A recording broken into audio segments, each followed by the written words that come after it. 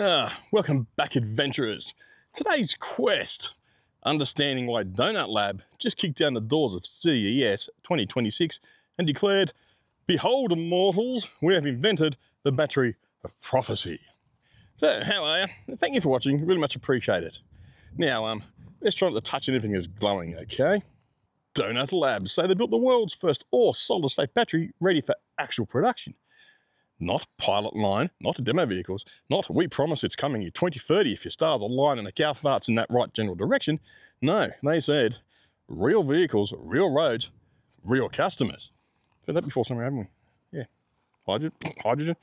Meanwhile, though, if you have a battery company still in the pub arguing about timelines, remember Samsung, the SDI, 2027, Toyota, 2020, 2024, 2025, 2026, 2028, 20 something, 30. Nissan, 2028-ish. Everybody else, just don't ask, please, don't ask. Donut Labs, though, well, they've done it. And it's going into motorcycles. So yeah, yeah, credit cards out. The specs, all the claims. Let me read you these numbers and um, yeah, try not to faint, okay? First up, 400 watt hours per kilometre of energy density. That's seriously impressive. We're talking massive impressive, like electric aircraft capable impressive. Cars with a thousand kilometres of range that kind of impressive. Five minute full charging time, no tapering at 80% like the sad lithium ion peasant cells we currently have at the moment. And don't worry, your oil simps, I'm sure you'll all claim you can refuel your cars in four minutes now. Also good for 100,000 charging cycles, which is, um, yeah, that's like millions of kilometers worth of charging cycles right there. Not only that, works for temperatures in minus 30 to well over 100 degrees centigrade. Now, if you're going to be driving a car at over 100 degrees centigrade, you're going to have some more serious issues on your plate.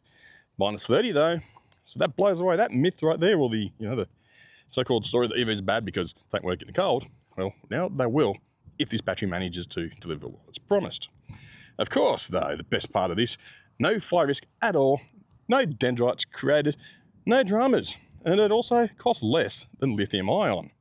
Again, like I said, impressive.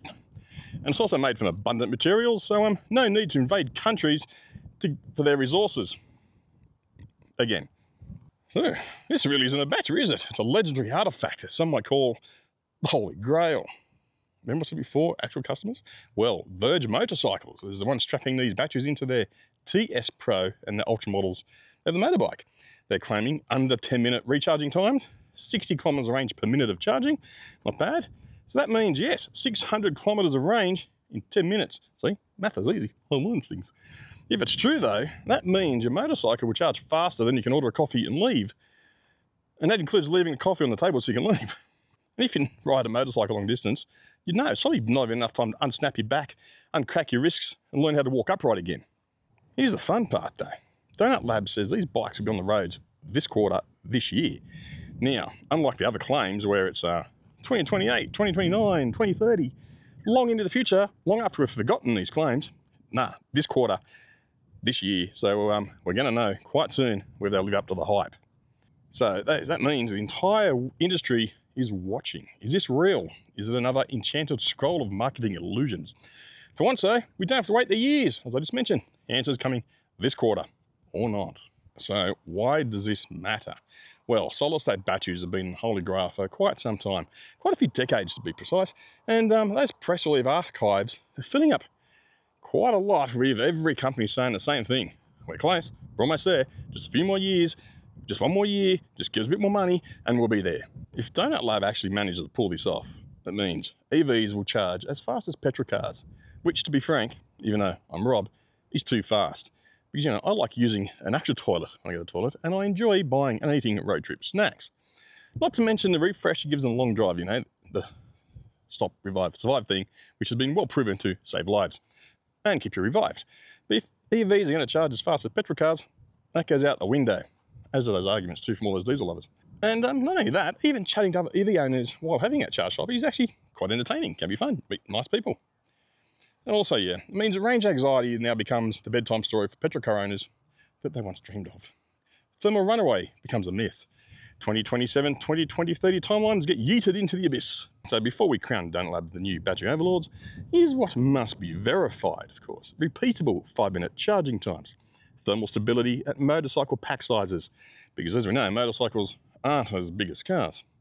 Unless it's an early Honda Goldwing. Those things are massive. I don't know how you ride that. Oh yeah, the battery must also generate no dendrites under high C rates. That's their discharge rates. Charge rates, so whacking 400 kilowatts in there or drawing 400 kilowatts on the throttle, it's got to form no dendrites. Manufacturing yields that won't make their engineers cry, and also, pardon, have a real world range under normal human chaotic conditions. If they pass all that, then we will enter a new era of electrification. If they fail, well, a dungeon always welcomes a new skeletons, doesn't it? So, EV adventurers, sharpen the curiosity and prepare the skepticism. So in the next 12 weeks, we're going to learn whether Donut Lab has forged a legendary artifact or just pulled off another legendary marketing exercise and fundraising scheme. Either way, the quest will continue. We'll try not to die before the results come in. Interesting times indeed. Battery world, battery tech and EV space is constantly evolving at a massively rapid pace. So, if you got this far, thank you for watching. I really do appreciate it. I really hope you will and appreciate you and take care of yourselves. And I'll see you all in the next video. Oh yeah, algorithm, things like subscribe, blah, blah, blah, blah, blah. Anyway, take care. See you later.